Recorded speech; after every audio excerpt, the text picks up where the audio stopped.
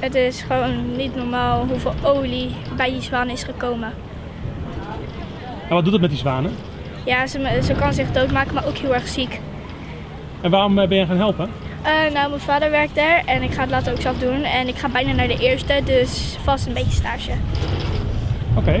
En, en wat voor zwanen ben je tegengekomen? Hoe erg zijn ze eraan toe? Nou, uh, we hebben één dode en die was wel het ergst, want dat bloed liep er gewoon echt helemaal uit.